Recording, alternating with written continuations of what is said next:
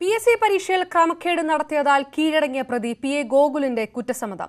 ശിവരഞ്ജിത്ത് ഉൾപ്പെടെയുള്ളവർക്ക് ഉത്തരങ്ങൾ അയച്ചുകൊടുത്തു പ്രണവാണ് പ്രധാന സൂത്രധാരനെന്നും ഗോകുൽ മൊഴി നൽകി. അതേസമയം തട്ടിപ്പിൽ ഉദ്യോഗസ്ഥരുടെ പങ്കും അന്വേഷിക്കാനാണ് ക്രൈംബ്രാഞ്ചിന്റെ തീരുമാനം. ചോദ്യം ചെയ്യലിന്റെ ആദ്യഘട്ടത്തിൽ തന്നെ പോലീസുകാരനായ ഗോകുൽ കുറ്റം സമ്മതിക്കുകയായിരുന്നു. ശിവരഞ്ജിത്ത് പ്രണവ് നസീം എന്നിവർക്ക് ഉത്തരങ്ങൾ അയച്ചുകൊടുത്തു ബന്ധുവിന്റെ കോച്ചിംഗ് സെന്റർ കേന്ദ്രീകരിച്ചായിരുന്നു ഗൂഢാലോചന.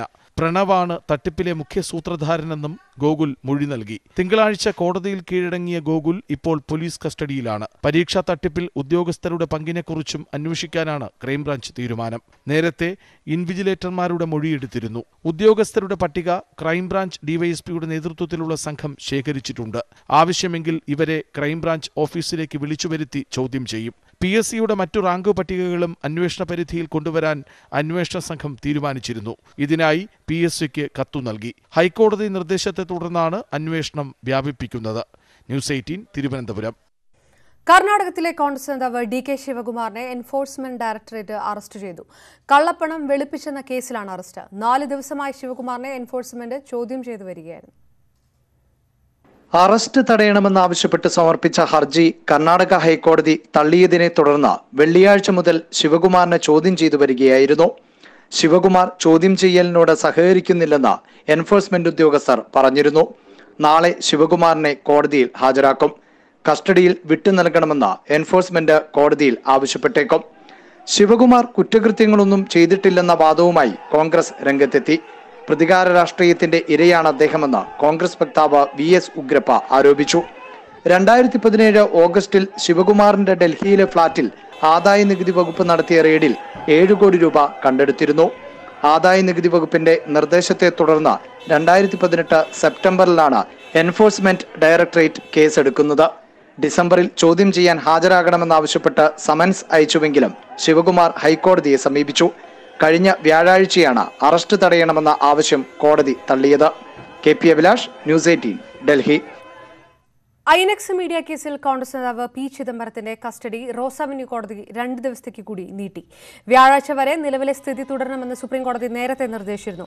എൻഫോഴ്സ്മെന്റ് കേസിൽ ചിദംബരം സമർപ്പിച്ച മുൻകൂർ ജാമ്യാപേക്ഷയിൽ വ്യാഴാഴ്ചയാണ് സുപ്രീംകോടതി വിധി പറയുന്നത്. സിബിഐ നടപടിക്രമങ്ങൾ ചോദ്യം ചെയ്ത് ചിദംബരം സമർപ്പിച്ച ഹർജിയിലും കോടതി അന്ന് വിധി പറയും. Justice R Bhanumathi S Bopanna എന്നിവരടങ്ങുന്ന ബെഞ്ചാണ് കേസ് പരിഗണിക്കുന്നത്.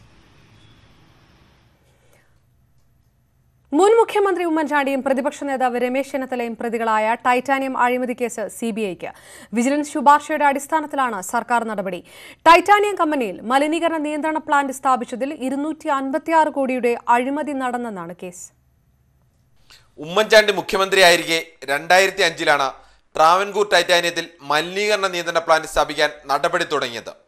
ഇതിൽ ഇരുന്നൂറ്റി കോടി രൂപയുടെ അഴിമതി നടന്നെന്നാണ് പരാതി. ഉമ്മൻചാണ്ടിയാണ് കേസിൽ ഒന്നാം പ്രതി.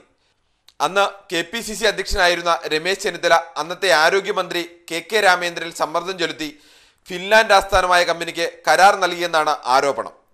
കെ കെ രാമേന്ദ്രൻ രമേശ് ചെന്നിത്തല അന്ന് വ്യവസായ മന്ത്രിയായിരുന്ന വി കെ ഇബ്രാഹിം കുഞ്ഞ് ടൈറ്റാനിയം ചെയർമാനായിരുന്ന ടി ബാലകൃഷ്ണൻ എന്നിവരും കേസിൽ പ്രതികളാണ്. വി എസ് സർക്കാരാണ് വിജിലൻസ് അന്വേഷണം ആരംഭിച്ചത്. പിന്നീട് യു ഡി എഫ് സർക്കാരിന്റെ കാലത്ത് ഉമ്മൻചാണ്ടിക്കെതിരെ തെളിവുകളില്ലെന്നും പ്രതിസ്ഥാനത്ത് നിന്ന് ഒഴിവാക്കണമെന്നും വിജിലൻസ് ശുപാർശ ചെയ്തു. ഇതിനെതിരെ ടൈറ്റാനിയത്തിലെ സി ഐ ടു നേതാവ് ജയൻ ഹൈക്കോടതിയെ സമീപിച്ചപ്പോൾ കോടതി തുടരന്വേഷണത്തിന് ഉത്തരവിട്ടു.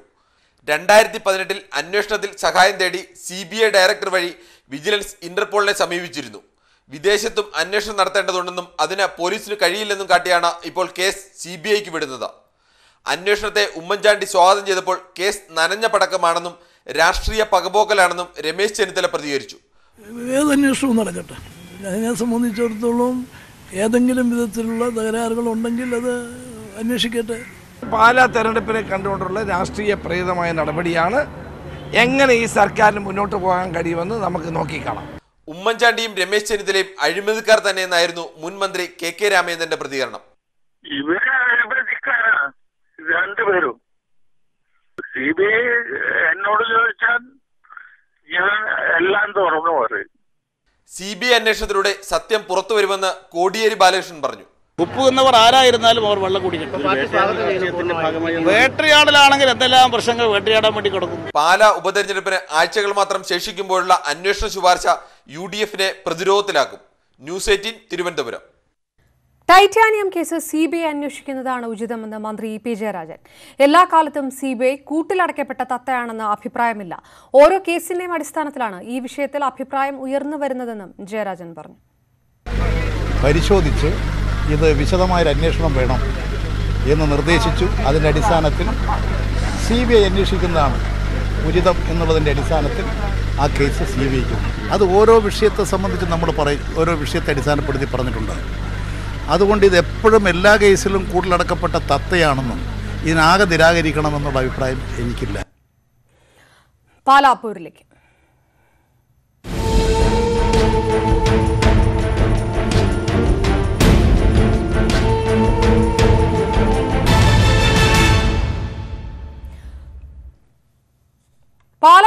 ഡി എഫ് സ്ഥാനാർത്ഥിക്ക് രണ്ടില ചിഹ്നം ലഭിക്കുമോ എന്നതിൽ അനിശ്ചിതത്വം തുടരുന്നു.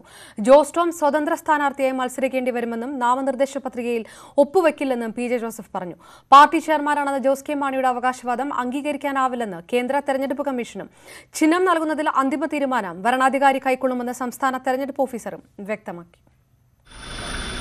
നാമനിർദ്ദേശ പത്രിക സമർപ്പിക്കാൻ ഒരു ദിവസം മാത്രം ശേഷിക്കെ പാലായിൽ ഒരടി പോലും പിന്നോട്ടില്ലെന്ന് ജോസഫ് തുറന്നു പറഞ്ഞു. പാർട്ടിയിൽ നിന്ന് പുറത്താക്കിയ ജോസ് ടോം പുലിക്കുന്നേലിന് ചിഹ്നം നൽകില്ല. ഈ ജോസ് ടോമിനെതിരെ നടപടി സ്വീകരിച്ചിട്ടുണ്ട്. അദ്ദേഹത്തെ പാർട്ടിക്ക് സസ്പെൻഡ് ചെയ്തിരിക്കുകയാണ്. അങ്ങനെ ഒരാൾക്ക് ചിഹ്നം കൊടുക്കാൻ നോക്കി രണ്ട് അദ്ദേഹം തന്നെ പറഞ്ഞു ചിഹ്നം ആവശ്യമില്ല. കെ എം മാണി തന്നെയാണ് ചിഹ്നം. ചിഹ്നത്തിന് പ്രസക്തിയില്ലെന്നും അക്ഷരാഭ്യാസം ഇല്ലാത്തവർക്കാണ് ചിഹ്നം വേണ്ടതെന്നും ജോസ് ടോം തിരിച്ചടിച്ചു. ചിഹ്നം എന്ന് പറയുന്നത് ഈ ഇത് കേരളത്തിലെ പാലാ നിയമണ്ഡലത്തിലെ മാത്രം ഇലക്ഷൻ ചട്ടങ്ങളല്ലല്ലോ. ജനസാമാന്യ വിദ്യാഭ്യാസ സാക്ഷരത അല്ലാത്ത സ്ഥലങ്ങളിലും ഒരു ഒരു സിമ്പലായിട്ട് സിമ്പൽ ഇൻഡിക്ക ഒരു ഇൻഡിക്കേറ്ററായിട്ടാണ് ചിഹ്നത്തെ വെച്ചിരുന്നത്. ആ അതിന്റെ ഒരു ഒരു കാലം കഴിഞ്ഞു. ചിഹ്നം കിട്ടില്ലെന്ന് ഉറപ്പായതോടെ ജോസ് കെ മാണിയുടെ നിലപാട് ദുർബലമായി. എല്ലാം യു ഡി എഫ് തീരുമാനിക്കട്ടെ എന്ന് ജോസ് കെ മാണി. സ്ഥാനാർത്ഥിയെ പ്രഖ്യാപിച്ചു കേരള കോൺഗ്രസ് എമ്മിന്റെ. അപ്പോൾ സ്വാഭാവികമായും കേരള കോൺഗ്രസ് എമ്മിന്റെ ആ ചിഹ്നത്തിൽ നിൽക്കുക എന്നുള്ളതാണ് പ്രധാനമായിട്ടുള്ളത്. പിന്നെ ബാക്കി കാര്യങ്ങൾ യു ഡി എഫ് തീരുമാനിക്കട്ടെ. ജോസ് ടോം രണ്ടിലെ ചിഹ്നത്തിൽ തന്നെ മത്സരിക്കുമെന്ന് റോഷി അഗസ്റ്റിനും സ്ഥാനാർത്ഥിയുടെ ചിഹ്നം യു ഡി എഫ് തീരുമാനിക്കുമെന്ന് മോൻസ് ജോസഫും പ്രതികരിച്ചു. ചിഹ്നം നൽകുന്നത് സംബന്ധിച്ച് അന്തിമ തീരുമാനം എടുക്കേണ്ടത് റിട്ടേണിംഗ് ഓഫീസറാണെന്ന് മുഖ്യ തെരഞ്ഞെടുപ്പ് ഓഫീസർ ടിക്കാറാം മീണ വ്യക്തമാക്കി.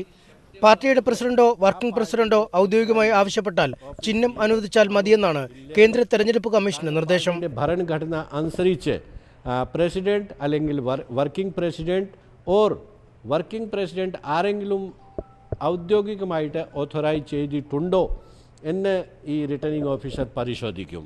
ആ നിയമവശങ്ങൾ പരിശോധിച്ചതിന് ശേഷം റിട്ടേണിംഗ് ഓഫീസറാണ് ഇതിൽ ഫൈനൽ തീരുമാനം എടുക്കേണ്ടത്. അതിനിടെ ജോസ് കെ മാണിയെ തള്ളി കേന്ദ്ര തെരഞ്ഞെടുപ്പ് കമ്മീഷൻ നൽകിയ കത്തും പുറത്തുവന്നു. കേസ് നിലനിൽക്കുന്നതിനാൽ പാർട്ടി ചെയർമാനായി തെരഞ്ഞെടുത്തെന്ന അവകാശവാദം അംഗീകരിക്കാനാവില്ലെന്ന് കത്തിൽ പറയുന്നു. News eighteen Pala. ഉപതെരഞ്ഞെടുപ്പിന് ദിവസങ്ങൾ മാത്രം ബാക്കി നിൽക്കെ പാലായിലെ യു ഡി എഫ് ശക്തി കേന്ദ്രമായ രാമപുരത്ത് മുന്നണിയിൽ പ്രതിസന്ധി. കേരള കോൺഗ്രസ് അംഗമായ പ്രസിഡന്റ് ഒഴിഞ്ഞില്ലെങ്കിൽ തെരഞ്ഞെടുപ്പ് പ്രവർത്തനങ്ങളിൽ നിന്ന് വിട്ടുനിൽക്കാനാണ് പ്രാദേശിക കോൺഗ്രസ് നേതൃത്വത്തിന്റെ തീരുമാനം. ഇക്കാര്യം വ്യക്തമാക്കി മണ്ഡല കമ്മിറ്റി ഡി സി സിക്ക് കത്ത് നൽകി. കേരള കോൺഗ്രസ് എം മണ്ഡലം പ്രസിഡന്റ് കൂടിയായ ബൈജു ജോണാണ് കഴിഞ്ഞ മൂന്നര വർഷമായി രാമപുരം പഞ്ചായത്ത് പ്രസിഡന്റ്. രണ്ടര വർഷം കഴിയുമ്പോൾ സ്ഥാനം നൽകാമെന്ന് ധാരണയുള്ളതായി കോൺഗ്രസ് അവകാശപ്പെടുന്നു. എന്നാൽ സമയപരിധി പലവട്ടം നീട്ടിയിട്ടും രാജിവെക്കാൻ ബൈജു തയ്യാറായില്ല. ഇതോടെയാണ് പാലാ ഉപതെരഞ്ഞെടുപ്പ് പ്രവർത്തനങ്ങളിൽ സഹകരിക്കില്ലെന്ന് ചൂണ്ടിക്കാട്ടി ജില്ലാ കോൺഗ്രസ് നേതൃത്വത്തിന് രാമപുരം മണ്ഡലം കമ്മിറ്റി കത്ത് നൽകിയത്. കോൺഗ്രസ്സുകാർക്ക് അതൊരു ഭയങ്കര ബുദ്ധിമുട്ടായിട്ടുണ്ട്. കാരണം ധാരണ വാക്ക് പാലിക്കാത്തതിന്റെ പേരിൽ തീർച്ചയായിട്ടും വാക്ക് പാലിക്കാൻ ബാധ്യസ്ഥനാണ്. കാരണം അന്ന് യു ഡി എഫ് ആയിട്ട് മത്സരിക്കുമ്പം ഇരു കൂട്ടരും തമ്മിൽ ഒപ്പുവെച്ചിട്ടുള്ളതാണ്. രണ്ടര വർഷം കേരള കോൺഗ്രസിനും രണ്ടര വർഷം കോൺഗ്രസിനും എന്നുള്ളത്. രണ്ട് സ്വതന്ത്ര അടക്കം ഒൻപത് അംഗങ്ങളാണ് രാമപുരത്ത് കേരള കോൺഗ്രസിനുള്ളത്. കോൺഗ്രസിന് നാലും. തദ്ദേശ ഭരണ തെരഞ്ഞെടുപ്പുകളിൽ പലതവണ സൗഹൃദ മത്സരം എന്ന പേരിൽ കോൺഗ്രസും കേരള കോൺഗ്രസും ഏറ്റുമുട്ടിയ പഞ്ചായത്തിൽ കഴിഞ്ഞ തവണ യു ഡി എഫിന്റെ കീഴിലാണ് ഇരു പാർട്ടികളും മത്സരിച്ചത്. പാലയിൽ നിന്നും M S Anish Kumar news eighteen. രണ്ടിലെ ഒരു ഒരു ഒരു വികാരമാണ്. ചിഹ്നം എന്ന് പറയുന്നത് ഈ ഇത് കേരളത്തിലെ പാലാ നിയമണ്ഡലത്തിലെ മാത്രം ഇലക്ഷൻ ചട്ടങ്ങളല്ലല്ലോ. ജനസാമാന്യ വിദ്യാഭ്യാസ സാക്ഷരത അല്ലാത്ത സ്ഥലങ്ങളിലും ഒരു ഒരു സിമ്പലായിട്ട് സിമ്പൽ ഇൻഡിക്ക ആയിട്ടാണ് ഇൻഡിക്കേറ്ററായിട്ടാണ് ചിഹ്നത്തെ വെച്ചത്. അതിന്റെ ഒരു ഒരു കാലം കഴിയും കോൺഗ്രസിലെ തർക്കം പാലായിൽ അനുകൂല ഘടകമാക്കാനുള്ള ശ്രമത്തിലാണ് ഇടതുമുന്നണി. തെരഞ്ഞെടുപ്പ് പ്രചാരണം വിലയിരുത്താൻ സി പി എം സംസ്ഥാന സെക്രട്ടറി കോടിയേരി ബാലകൃഷ്ണൻ പാലായിലെത്തി. മാണി സി കാപ്പന്റെ തെരഞ്ഞെടുപ്പ് കൺവെൻഷൻ നാളെ മുഖ്യമന്ത്രി പിണറായി വിജയൻ ഉദ്ഘാടനം ചെയ്യും. മണ്ഡലത്തിലെ പ്രധാന വ്യക്തികളെ നേരിട്ട് കണ്ട് വോട്ടുറപ്പിക്കുന്ന തിരക്കിലാണ് ഇടതു സ്ഥാനാർത്ഥി മാണി സി കാപ്പൻ. കേരള കോൺഗ്രസിലെ സാഹചര്യങ്ങൾ ഗുണകരമാകുമെന്ന പ്രതീക്ഷയിലാണ് കാപ്പൻ. രണ്ടിലയോടുള്ള വൈകാരിക അടുപ്പം പാലാക്കാർക്ക് ഇല്ലാതായെന്നും മാണി സി കാപ്പൻ. വൈകാരികമായ അടുപ്പം കുറഞ്ഞു കുറഞ്ഞു വരുമല്ലായിരുന്നു എന്റെ ഇലക്ഷനിൽ. ഞാൻ പറഞ്ഞത് ഇരുപത്തിനാലായിരത്തി അഞ്ഞൂറിൽ ഇന്ന് നാലായിരത്തി എഴുന്നൂറിലേക്ക് എത്തിയപ്പോൾ ആ വൈകാരികമായ അടുപ്പം പാലാക്കാർക്ക് അല്ലെങ്കിലും കുറഞ്ഞു വരികയായിരുന്നു. രാവിലെ പാലായിലെത്തിയ സി പി എം സംസ്ഥാന സെക്രട്ടറി കോടിയേരി ബാലകൃഷ്ണൻ ഇതുവരെയുള്ള തെരഞ്ഞെടുപ്പ് പ്രവർത്തനങ്ങൾ വിലയിരുത്തി. പോരാട്ടത്തിൽ തികഞ്ഞ വിജയ പ്രതീക്ഷ. ശബരിമല വിഷയം പാലായിൽ ഏക്കില്ല. പാർട്ടിയുടെ അഭിപ്രായവും മുഖ്യമന്ത്രിയുടെ അഭിപ്രായവും എല്ലാം ഒന്ന് തന്നെയാണ്. മറ്റുള്ളതെല്ലാം ദുർവ്യാഖ്യാനങ്ങളാണ്. അത് ആരെങ്കിലും ചർച്ചാ വിഷയമാകുന്നുണ്ടെങ്കിൽ ഞങ്ങൾ ആ ചർച്ചയിൽ നിന്ന് ഒളിച്ചോടാൻ ഉദ്ദേശിക്കുന്നില്ല. ഞങ്ങൾ ആ നിലപാട് വിശദീകരിച്ചുകൊണ്ട് ജനങ്ങളെ സമീപിക്കാൻ ഞങ്ങൾക്ക് സാധിക്കും. മുഖ്യമന്ത്രി പിണറായി വിജയൻ പങ്കെടുക്കുന്ന തെരഞ്ഞെടുപ്പ് കൺവെൻഷൻ നാളെ നടക്കും. പഞ്ചായത്ത് കൺവെൻഷനുകളും പുരോഗമിക്കുകയാണ്. News eighteen Pala. പാലായിൽ ബി ജെ പിക്ക് വിജയസാധ്യത കൂടുതലാണെന്ന് സ്ഥാനാർത്ഥി എൻ ഹരി ന്യൂസ് എയ്റ്റിനോട് പറഞ്ഞു. പാലായിലെ വിവിധ ഘടകങ്ങൾ എൻ ഡി എക്ക് അനുകൂലമാണ്. മുതിർന്ന കേന്ദ്ര നേതാക്കൾ പ്രചാരണത്തിനായി പാലായിലെത്തുമെന്നും എൻ ഹരി പറഞ്ഞു. ത്രികോണ മത്സരം എന്നുള്ള ശക്തമായ രീതിയിലുള്ള വലിയൊരു മുന്നേറ്റം മുന്നേറ്റം മുന്നേറ്റമെന്ന് മാത്രമല്ല ഒരു വിജയത്തിനപ്പുറം ഒന്നും എൻ ഡി എ പ്രതീക്ഷിക്കുന്നില്ല. പിറവം പള്ളിത്തർക്ക കേസിൽ സുപ്രീം കോടതി വിധി നടപ്പാക്കുന്നത് വിശ്വാസികളുടെ വികാരവും അവകാശവും സംരക്ഷിച്ചായിരിക്കുമെന്ന് സർക്കാർ. പള്ളിയിൽ കയറാൻ പോലീസിന്റെ പാസ് വേണമെന്നും ഹൈക്കോടതിയിൽ നൽകിയ സത്യവാങ്മൂലത്തിൽ സംസ്ഥാന സർക്കാർ വ്യക്തമാക്കുന്നു. പിറവം പള്ളിയുമായി ബന്ധപ്പെട്ട കോടതി വിധി നടപ്പാക്കുന്നതിൽ സമവായത്തിന്റെ മാർഗം കൈവിടാതെ സർക്കാർ. വിശ്വാസികളുടെ വികാരവും മതപരമായ അവകാശങ്ങളും സംരക്ഷിച്ചായിരിക്കും സുപ്രീം കോടതി വിധി നടപ്പാക്കുകയെന്ന് സർക്കാർ ഹൈക്കോടതിയിൽ സമർപ്പിച്ച സത്യവാങ്മൂലത്തിൽ വ്യക്തമാക്കി. വിധി ഒറ്റയടിക്ക് നടപ്പാക്കാനാവില്ലെന്നും സ്റ്റേറ്റ് അറ്റോർണി സമർപ്പിച്ച സത്യവാങ്മൂലത്തിൽ പറയുന്നു. ഉത്തരവ് നടപ്പാക്കുന്നതിന്റെ ഭാഗമായി പോലീസും കോടതിയിൽ ശുപാർശകൾ സമർപ്പിച്ചു. പള്ളിയിൽ ആരാധനയ്ക്കായി പ്രവേശിക്കാൻ ആഗ്രഹിക്കുന്നവർ തിരിച്ചൽ രേഖ സഹിതം പോലീസിന് സത്യവാങ്മൂലം സമർപ്പിക്കണം. ആയിരത്തി തൊള്ളായിരത്തി മുപ്പത്തിനാലിലെ ഭരണഘടന അംഗീകരിക്കുന്നുവെന്നും എഴുതി നൽകണം. എങ്കിൽ മാത്രമേ പള്ളിയിൽ പ്രവേശനമുണ്ടാകൂ. പത്തുപേർ മാത്രമേ പ്രാർത്ഥനാ ശുശ്രൂഷ നടത്തുന്ന സംഘത്തിൽ ഉണ്ടാകാൻ പാടുള്ളൂ. പ്രാർത്ഥനയ്ക്കായി ഇരുന്നൂറ്റി അൻപത് പേർക്ക് പള്ളിയിൽ പ്രവേശിക്കാമെന്നും പോലീസ് വ്യക്തമാക്കി. ക്രമസമാധാനം പാലിക്കുന്നതിന്റെ ഭാഗമായാണ് ഈ നടപടി. കോടതി വിധിയനുസരിച്ച് ഓർത്തഡോക്സ് വിഭാഗം പിറവും പള്ളിയിൽ എത്തിയപ്പോഴെല്ലാം യാക്കോബായ സഭാംഗങ്ങളുടെ എതിർപ്പിനെ തുടർന്ന് മടങ്ങുകയായിരുന്നു. News eighteen Kochi. സിസ്റ്റർ അഭയുടെ മൃതദേഹത്തിന്റെ ഫോട്ടോ എടുത്തത് കോൺവെന്റ് അധികൃതർ പറഞ്ഞിട്ടാണെന്ന് ഫോട്ടോഗ്രാഫർ വർഗീസ് ചാക്കോ. അഭയുടെ ദേഹത്ത് മുറിവുകളുണ്ടായിരുന്നു പ്രതിഫലമായി ഇരുന്നൂറ് രൂപ നൽകിയതിനെ തുടർന്ന് ഫോട്ടോയും നെഗറ്റീവും മഠം അധികൃതർക്ക് കൈമാറി. കോൺവെന്റ് അധികൃതർ പറഞ്ഞ പ്രകാരം ഒരു ഫോട്ടോ പോലീസിന് നൽകിയെന്നും വർഗീസ് ചാക്കോ സിബിഐ പ്രത്യേക കോടതിയിൽ മൊഴി നൽകി. വിവിധ ആവശ്യങ്ങൾ ഉന്നയിച്ച് കൊച്ചിയിൽ മുത്തൂറ്റ് ഫിനാൻസിന്റെ ഹെഡ് ഓഫീസിന് മുന്നിൽ സി ഐ ടി യു നേതൃത്വത്തിൽ സമരം. ജോലിക്കെത്തിയ ജീവനക്കാരെ സമരക്കാർ തടഞ്ഞത് നേരിയ സംഘർഷത്തിനിടയാക്കി. സി ഐ ടി യു നിലപാടിൽ പ്രതിഷേധിച്ച് എം ഡി ജോർജ് അലക്സാണ്ടറും ഹെഡ് ഓഫീസിന് മുന്നിൽ കുത്തിയിരിപ്പ് സമരം നടത്തി. ഐ ജി ഓഫീസിൽ പരാതി നൽകിയിട്ടും പോലീസ് നടപടിയെടുത്തില്ലെന്ന് ജോർജ് അലക്സാണ്ടർ പറഞ്ഞു. രാവിലെ ഒൻപത് മണിയോടെയാണ് എറണാകുളം ബാനർജി റോഡിലെ മുത്തൂറ്റ് ഹെഡ് ഓഫീസിന് മുന്നിൽ ഒരു വിഭാഗം ജീവനക്കാർ സമരം ആരംഭിച്ചത്. തടഞ്ഞുവെച്ച ആനുകൂല്യങ്ങൾ നൽകുക ശമ്പള വർധനവ് നടപ്പാക്കുക തുടങ്ങിയ ആവശ്യങ്ങൾ ഉന്നയിച്ചാണ് സമരം. ജോലിക്കെത്തിയ ഇരുന്നൂറ്റി അൻപതോളം ജീവനക്കാരെ സമരക്കാർ തടഞ്ഞത് നേരിയ സംഘർഷത്തിനിടയാക്കി.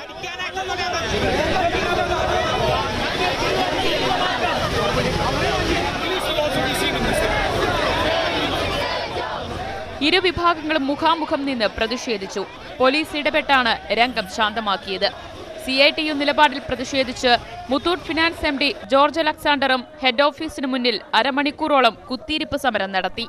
കേരളത്തിൽ ഇനിയും ബലമായിട്ട് തുറക്കാൻ വയ്യാത്ത മുന്നൂറ് ബ്രാഞ്ചുണ്ട് ആ ബ്രാഞ്ച് തുറക്കാൻ വയ്യായെങ്കിൽ അത് ഘട്ടം ഘട്ടമായിട്ട് ക്ലോസ് ചെയ്യാനാണ് പറഞ്ഞിരിക്കുന്നത്. ഇങ്ങനെ ഒരു ബലപ്രയോഗം നടത്തിയാന്നോ ഇങ്ങനെയൊക്കെ സാധിക്കേണ്ടത്?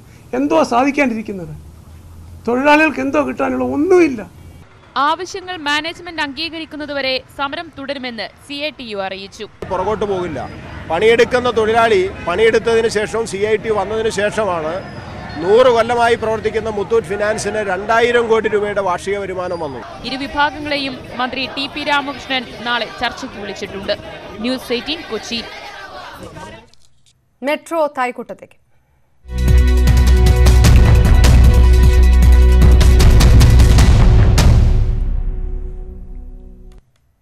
കേരളത്തിലെ ഏറ്റവും തിരക്കേറിയ വൈറ്റ്ല ജംഗ്ഷൻ കടന്ന കൊച്ചി മെട്രോ ഇനി തൈക്കുടം വരെ. പുതിയ പാതയുടെ ഉദ്ഘാടനം മുഖ്യമന്ത്രി പിണറായി വിജയൻ നിർവഹിച്ചു. നിർമ്മാണ പ്രവർത്തനങ്ങളിൽ ഒരു വിട്ടുവീഴ്ചയും പാടില്ലെന്നാണ് പാലാരിവട്ടം പാലം ഓർമ്മപ്പെടുത്തുന്നതെന്ന് മുഖ്യമന്ത്രി പറഞ്ഞു. ഉദ്ഘാടനത്തോടനുബന്ധിച്ച് രണ്ടാഴ്ചത്തേക്ക് ടിക്കറ്റ് നിരക്കിൽ അൻപത് ശതമാനം ഇളവും പ്രഖ്യാപിച്ചു. Now, the Honorable Chief നമ്മൾ കാത്തിരുന്ന ധന്യമുഹൂർത്തം ഉദ്ഘാടന യോഗത്തിൽ കേന്ദ്രമന്ത്രി ഹർദീപ് സിംഗ് പുരി അധ്യക്ഷത വഹിച്ചു.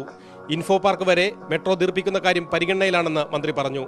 കൊച്ചിയിൽ വിവിധ യാത്രാ സൗകര്യങ്ങൾ മെച്ചപ്പെടുത്തുന്നതോടൊപ്പം കാസർഗോഡ് മുതൽ തിരുവനന്തപുരം വരെ അതിവേഗ ട്രെയിൻ സർവീസ് ഉടൻ ആരംഭിക്കുമെന്നും മുഖ്യമന്ത്രി പറഞ്ഞു. അതിവേഗമല്ലെങ്കിലും നല്ല വേഗതയിൽ ഒരു നാല് മണിക്കൂർ കൊണ്ട് തിരുവനന്തപുരത്ത് കാസർഗോഡ് എത്താവുന്ന ഒരു ട്രെയിൻ യാഥാർത്ഥ്യമാക്കണമെന്ന തരത്തിലുള്ള നടപടികളും സ്വീകരിച്ചു വരികയാണ്. അഞ്ചര കിലോമീറ്റർ ദൂരമാണ് മഹാരാജാസിൽ നിന്നും തൈക്കൂടം വരെയുള്ളത്. ഈ റൂട്ടിൽ അഞ്ച് സ്റ്റേഷനുകളുമുണ്ട്. ഏഴ് മിനിറ്റ് മാത്രം വേണ്ടിവരുന്ന യാത്രയ്ക്ക് ഇരുപത് രൂപയാകും ടിക്കറ്റ് നിരക്ക്. ആലുവയിൽ നിന്നും തൈക്കൂടം വരെ അറുപത് രൂപയും രണ്ടായിരത്തി ഇരുപതിൽ മെട്രോ പേട്ട ജംഗ്ഷൻ വരെ വ്യാപിപ്പിക്കും. ജലമെട്രോ ഡിസംബറിൽ ആരംഭിക്കാനാണ് കെ ലക്ഷ്യമിടുന്നത്. News eighteen Kochi. Ernakulam Thykoodam മുതൽ മഹാരാജാസ് കോളേജ് വരെയുള്ള കൊച്ചി മെട്രോയുടെ ആദ്യ യാത്ര നഴ്സുമാർക്ക് ആദരമർപ്പിച്ചായിരുന്നു. കൊച്ചിയിൽ നിപ പ്രതിരോധ പ്രവർത്തനത്തിൽ പങ്കാളികളായ നഴ്സുമാർ യാത്രയിലേക്ക് ക്ഷണിക്കപ്പെട്ടപ്പോൾ അവർക്കൊപ്പം മന്ത്രി കെ കെ ശൈലജയും സിനിമാ താരങ്ങളും എത്തി. കേരളത്തെ വീണ്ടും ഭീതിയിലാഴ്ത്തിയ നിപയെ പ്രതിരോധിക്കാൻ ജീവൻ പണയം വെച്ച് സേവനം നടത്തിയ നഴ്സുമാർക്കുള്ള ആദരസൂചകമായിട്ടായിരുന്നു യാത്ര. കൊച്ചി മെട്രോയുടെ പുതിയ പാതയുടെ അവസാന സ്റ്റേഷനായ തൈക്കോടത്ത് നഴ്സുമാരെ വരവേറ്റു. പ്രതിരോധ പ്രവർത്തനങ്ങൾക്ക് നേതൃത്വം നൽകിയ മന്ത്രിയും നിഫയുടെ ഭീകരത വെള്ളിത്തിരിയിലെത്തിച്ച വൈറസ് സിനിമയിലെ താരങ്ങളും യാത്രയിൽ പങ്കെടുത്തു.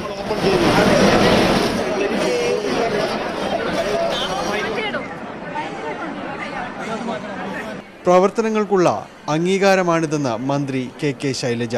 സമൂഹത്തിൽ അംഗീകരിക്കപ്പെടേണ്ടവരെ ഇതുപോലെ നമുക്ക് വേണ്ടി ത്യാഗപൂർണമായിട്ട് മന്ത്രിയൊക്കെ അതിന്റെ ഒരു സ്ഥാനം മാത്രമാണ്. പക്ഷേ ആത്മാർത്ഥമായിട്ട് ഇതിന്റെ പുറകിൽ ജോലി ചെയ്യുന്നത് ഡോക്ടർമാരും നഴ്സുമാരും ക്ലീനിങ് സ്റ്റാഫ് അടക്കമുള്ള ആളുകളാണ്. എനിക്ക് അവരോട് വലിയ അഭിനന്ദനം അവർക്ക് നേരെയുണ്ട്. സന്തോഷമുണ്ട്. പുതിയ പാതയിൽ മൂന്ന് സർവീസുകളാണ് ഉദ്ഘാടന ദിവസം മെട്രോ നടത്തിയത്. മുതിർന്ന പൗരന്മാർക്ക് വേണ്ടിയും മെട്രോ പ്രത്യേക സർവീസ് നടത്തി. News eighteen Kochi. സംസ്ഥാനത്തിന്റെ പക്കലുള്ള മിച്ചധാന്യം പ്രളയബാധിതർക്ക് സൗജന്യമായി നൽകാൻ കേന്ദ്ര സർക്കാർ അനുമതി നൽകിയില്ലെന്ന് ഭക്ഷ്യ സിവിൽ സപ്ലൈസ് മന്ത്രി പി തിലോത്തമൻ. പ്രളയാനന്തര കേരളത്തിന് അധിക ഭക്ഷ്യവീതം ആവശ്യപ്പെട്ടുകൊണ്ട് വീണ്ടും കേന്ദ്രത്തിന് നിവേദനം നൽകി. വിഷയത്തിൽ കേന്ദ്രത്തിൽ നിന്നും അനുകൂല പ്രതികരണം ഉണ്ടായില്ലെന്ന് ഭക്ഷ്യമന്ത്രി ഡൽഹിയിൽ നിവേദനം കൂടി കൊടുത്തു. പക്ഷെ അതിന് അദ്ദേഹം മറുപടി പ്രളയത്തിന് ഇരയായവരുടെ വായ്പകൾക്ക് മൊറട്ടോറിയം ഏർപ്പെടുത്തി. ഇരുപത്തിമൂന്ന് ഓഗസ്റ്റ് മുതൽ ഒരു വർഷത്തേക്ക് മൊറട്ടോറിയം ബാധകമായിരിക്കും. സംസ്ഥാനതല ബാങ്കേഴ്സ് സമിതി യോഗത്തിന് ശേഷം കൃഷിമന്ത്രി വി എസ് സുനിൽകുമാറാണ് മൊറട്ടോറിയം പ്രഖ്യാപിച്ചത്. പൂർണമായിട്ടും എസ് എൽ ബി സി അംഗീകരിച്ചിരിക്കുകയാണ്. നമുക്ക് മൊറട്ടോറിയം ഈ വർഷവും മൊറട്ടോറിയം പ്രഖ്യാപിക്കുകയാണ്. ഇപ്പോൾ ഒരു വർഷത്തേക്കാണ് മൊറട്ടോറിയം പ്രഖ്യാപിക്കാൻ എസ് എൽ ബി സി തീരുമാനമെടുത്തത് ഇനി എന്റെ സബ് കമ്മിറ്റി കൂടി അത് ഡിക്ലറേഷൻ നടത്തേ വേണ്ടു. അതിൽ ഈ ഒരു വർഷത്തിന് പുറമെ ചില പൂർണമായിട്ട് കൃഷി നശിച്ചവർക്ക് ഒന്നിലധികം വർഷത്തേക്ക് കൊടുക്കാൻ കഴിയാവുന്ന ഫ്ലെക്സിബിൾ ആയിട്ടുള്ള ഒരു തീരുമാനമാണ് എടുക്കുന്നത്. ഒന്നിലധികം വർഷത്തേക്ക് മൊറട്ടോറിയം ലഭ്യമാകുന്ന തരത്തിലുള്ള ഡിസിഷനാണ് എടുത്തിരിക്കുന്നത്. കോഴിക്കോട് കോർപ്പറേഷൻ കൌൺസിലിൽ ഭരണ പ്രതിപക്ഷ അംഗങ്ങൾ തമ്മിൽ കയ്യാങ്കളി. സംഘർഷത്തിൽ പ്രതിപക്ഷ കൌൺസിലർ അബ്ദുറഹ്മാന് പരിക്കേറ്റു. അമൃത് പദ്ധതിയിലെ അഴിമതി ആരോപണത്തിൽ മേയറുടെ മറുപടി വ്യക്തമല്ലെന്നാരോപിച്ച് പ്രതിപക്ഷ അംഗങ്ങൾ ഡയസിന് നേരെ പാഞ്ഞെടുത്തതാണ് സംഘർഷങ്ങളുടെ തുടക്കം. പ്രതിരോധിക്കാൻ ഭരണപക്ഷ അംഗങ്ങളും ഇറങ്ങിയതോടെ സ്ഥിതി വഷളായി.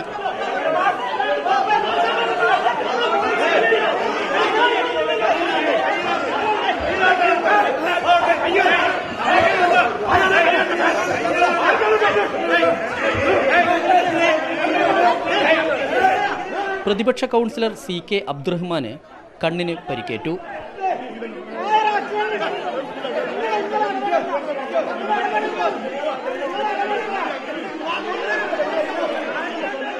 സംഘർഷത്തെ തുടർന്ന് കൗൺസിൽ നടപടികൾ ഇന്നത്തേക്ക് അവസാനിപ്പിച്ചു. സാധാരണ ഒരു പ്രോജക്റ്റ് അംഗീകാരം കൊടുത്താലേ അതിന് ടെൻഡർ നടപടി നടത്താൻ പറ്റുള്ളൂ. അതുമായി ബന്ധപ്പെട്ടുള്ള ചോദ്യങ്ങൾ അടക്കം അതിനടക്കമുള്ള ഒളിച്ചോട്ടമാണ്. അതിന്റെ ഭാഗമായിട്ടുള്ള ബഹളമാണ് കോഴി ഇന്ന് നമ്മുടെ കൗൺസിലിൽ ആൾ കണ്ടത്. കൗൺസിൽ അലങ്കോലമാക്കിയതിന് പിന്നിൽ ഗൂഢാലോചനയെന്ന് മേയർ. ഇതിലൊരു ശരിക്കും പറഞ്ഞാൽ ഒരു ഗൂഢാലോചന കൂടി ഉണ്ടോ എന്ന് നമുക്ക് സംശയം തോന്നുന്നു. News eighteen Kozhikode. A N Shamseer എക്കെതിരെ നിയമയുദ്ധം തുടരുന്നതിനിടയിൽ C O T Naseer C P M പരിപാടിയിലെത്തി. Kashmir വിഷയത്തിൽ പാട്യം ഗോപാലൻ പഠന ഗവേഷണ കേന്ദ്രം സംഘടിപ്പിച്ച സെമിനാറിൽ കേൾവിക്കാരനായാണ് നസീർ എത്തിയത്. ആക്രമണത്തിൽ പരിക്കേറ്റ് ചികിത്സയിലായിരുന്നു സിഒ ടി നസീർ കേസിൽ C P M branch secretary ഉൾപ്പെടെയുള്ളവർ അറസ്റ്റിലായിട്ടുണ്ട്. കോടതിയുടെ മേൽനോട്ടത്തിൽ അന്വേഷണം വേണമെന്നാവശ്യപ്പെട്ട് ഹർജി സമർപ്പിച്ച ദിവസം തന്നെയാണ് സി പി എം പരിപാടിയിലും നസീർ എത്തിയത്. Thalassery area secretary M C Pavithran അറിയിച്ചതിനെ തുടർന്നാണ് സെമിനാറിൽ പങ്കെടുത്തതെന്നാണ് നസീറിന്റെ വിശദീകരണം.